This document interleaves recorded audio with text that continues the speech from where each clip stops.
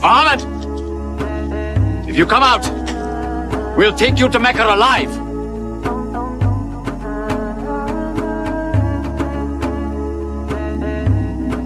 Mohammed, come out!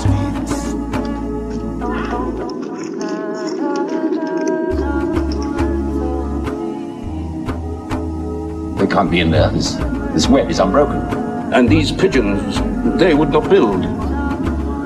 We were wrong to follow them. We should have gone north. Let's move then. We still have time to head them off.